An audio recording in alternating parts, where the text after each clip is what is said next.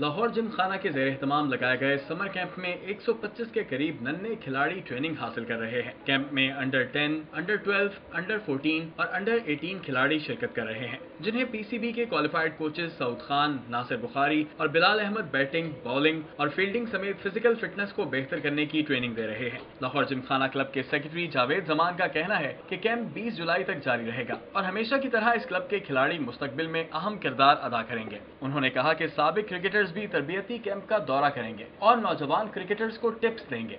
Pakistan cricket board के भी शुक्रगुजार हैं कि वो हमें दो कोच देते हैं अपने क्वालिफाइड कोच दो दो कोच हम अपने पास से ले लेते हैं तो इन बच्चों को ट्रेनिंग वो देते हैं।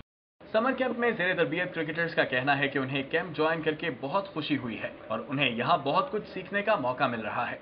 यहाँ पर बहुत अच्छा लगा यहाँ पर बहुत सीखने को बहुत चीज़ें हैं। हमारे लिए मैं बड़े होकर क्रिकेटर बनना चाहती हूँ। कैंप में आगे मुझे बहुत अच्छा लगा क्योंकि यहाँ पर मुझे बहुत अच्छा क्रिकेट खेलने को मिला। कैंप बहुत अच्छा हो रहा है और हमारे साथ कोच भी साउथ खान कोच है बहुत कुछ सिखाया हमें और हमें काफ़ी बेहतरी हुई है। समर कैंप के अख्ताम से कबल खिलाड़ियों के माबेन मैचेस का इनका भी किया जाएगा जिससे उन्हें मैच की प्रैक्टिस और टेम्परामेंट हासिल होगा। कैमरामैन जाहिद शफी के साथ राना आजर सिटी 42